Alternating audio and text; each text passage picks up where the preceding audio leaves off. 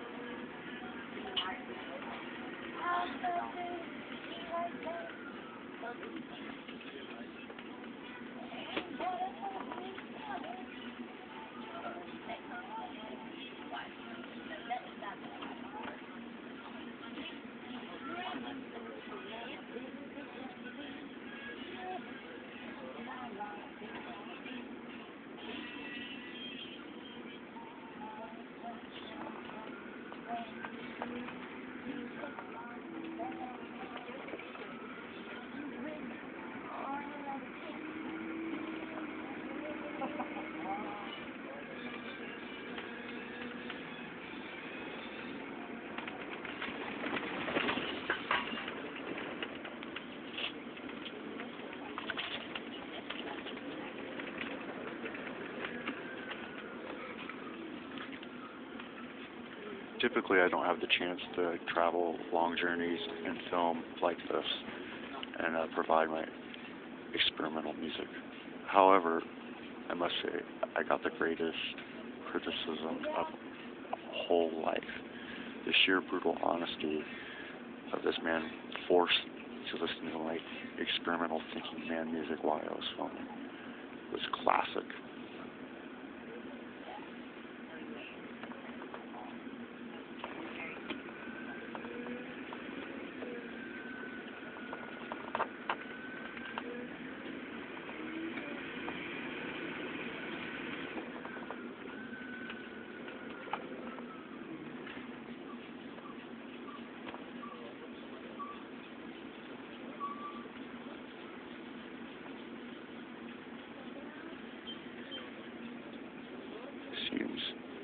Experimental music still pushes the threshold to the people who typically like middle class, meager, mundane ideology.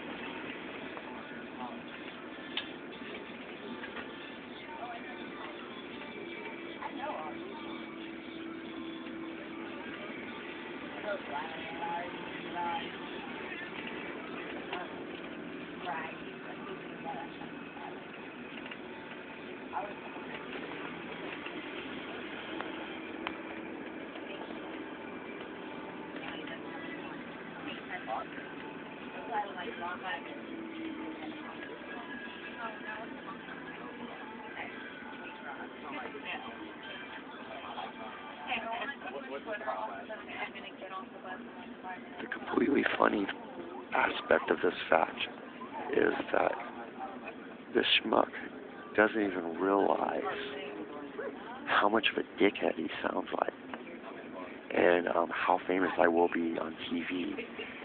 And I got him recorded sounding like a complete a-hole.